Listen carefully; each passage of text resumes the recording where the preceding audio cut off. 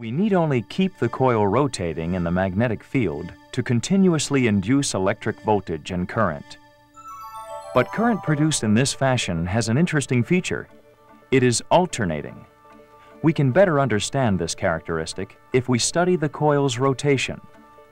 Note that the particles flowing through the circuit represent electrons, but keep in mind conventional current flow is opposite in direction.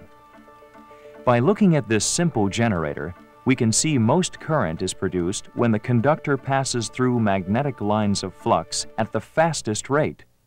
That is, the greatest current occurs when the conductor moves at right angles to the magnetic field. Then, as the conductor continues its rotation at a constant speed, it cuts through fewer and fewer lines of flux, and less and less current is induced. Eventually, the conductor moves parallel to the field. At this point, no current flows because the conductor doesn't cut through any lines of flux. This occurs twice in each revolution.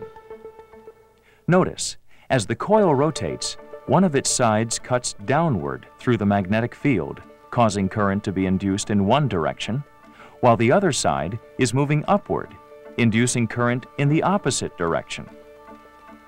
After the coil passes through the position of no current flow, the previous downward side moves up and the previous upward side moves down, thus reversing the current flow in the external circuit. This, then, is alternating current, a flow of current in a circuit that reverses direction periodically and is continually varying in magnitude. So how can we construct a source of direct current? Obviously, we must find a way to maintain current flow in one direction in the external circuit. To do this, we need change only the slip rings, which collect alternating current, to a commutator which will rectify, that is, change, AC to DC. The commutator is a collar divided into segments, insulated one from the other we attach one end of the coil to one of the segments and the other end to another segment.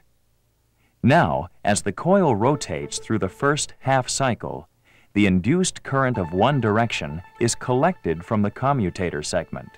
It flows through the external circuit, then back to another commutator segment and into the coil, completing the circuit.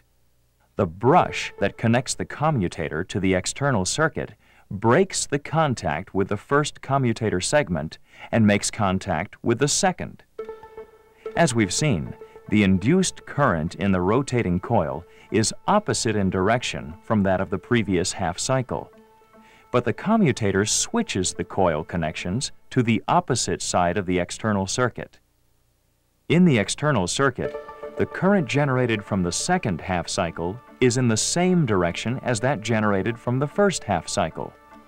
The commutator has rectified the current, converting it from an alternating current to one that flows only in one direction, direct current. But there is a problem. The direct current produced by a single coil is pulsating and unsuitable for most applications. Therefore, practical generators have many coils and many commutator segments that can produce a voltage that pulsates very little and is usable.